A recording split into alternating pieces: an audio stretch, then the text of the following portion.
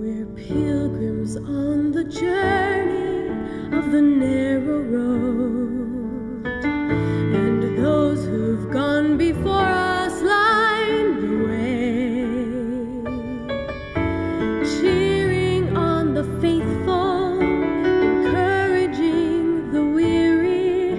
Their lives a stirring testament of God's surrounded by so great a cloud of witnesses. Let us run the race not only for